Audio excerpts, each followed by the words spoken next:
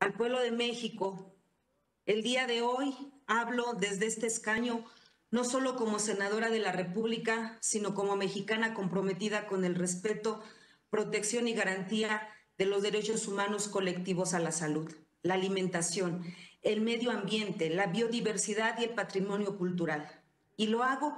tanto a nombre propio como en representación de todas y todos los campesinos de México, de los cientos de organizaciones y de miles de personas preocupadas por nuestra soberanía alimentaria, sobre todo de quienes integramos la campaña nacional Sin Maíz No hay País, a efecto de hacer un firme pronunciamiento en contra de la resolución de fecha 23 de abril del año en curso, emitida por el Juzgado Sexto de Distrito en materia administrativa con residencia en la Ciudad de México, por la que se otorgó la suspensión provisional en amparo a una conocida empresa agroquímica transnacional para exentarla de los efectos del decreto presidencial que busca la eliminación gradual y paulatina en México del uso del glifosato y el maíz transgénico,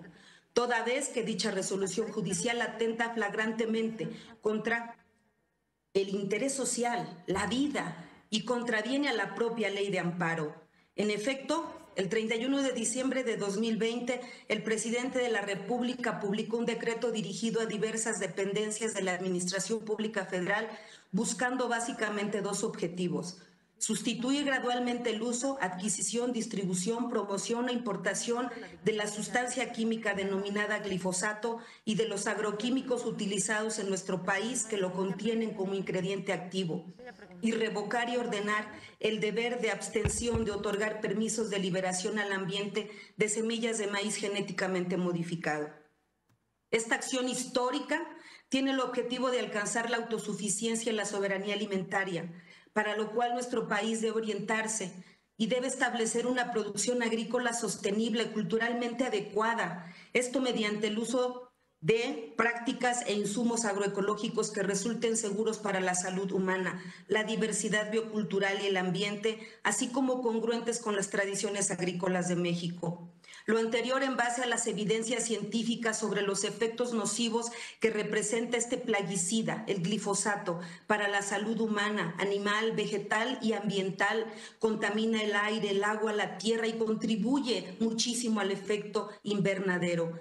y el cambio climático, y teniendo como referentes mejores prácticas y experiencias internacionales en la materia, como es el caso de Alemania y muchos otros países del mundo, donde se ha fijado como meta eliminar el uso de este plaguicida de forma absoluta para el 2024 como era de esperarse debido al impacto que significa para los enormes intereses económicos del oligopolio global de la industria agroquímica y transgénica ya se han presentado demandas de amparo en contra de los efectos de este decreto. Sin embargo, afortunadamente en casi todos los casos que se tiene conocimiento, los tribunales han negado la suspensión de los efectos de este decreto, bajo el razonamiento unánime que dicha acción está prohibida por la propia ley de amparo, toda vez que sería contraria al interés social y al orden público, en virtud de los derechos que pondría en juego, habida en cuenta del riesgo comprobado que implica el uso del glifosato Contrario al anterior, el juzgado sexto de distrito en materia administrativa de esta ciudad ha sido el único órgano que se atrevió a violentar la ley y que ha concedido la suspensión de los efectos del decreto en favor de una empresa transnacional, anteponiendo el interés del pueblo de México, de la vida de los mexicanos, de miles de campesinos, por encima de ello los intereses económicos de particulares. Un juez que no está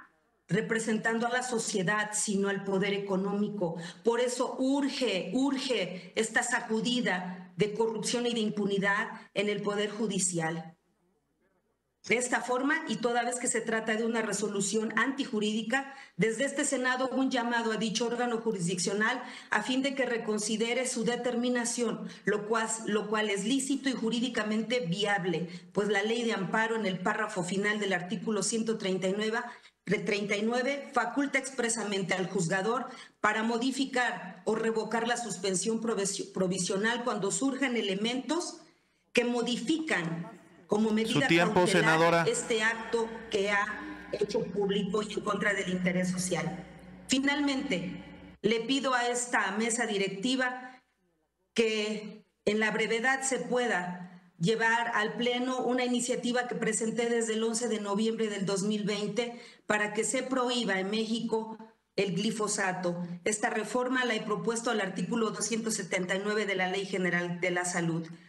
Gracias, es cuanto. Tomamos nota de su petición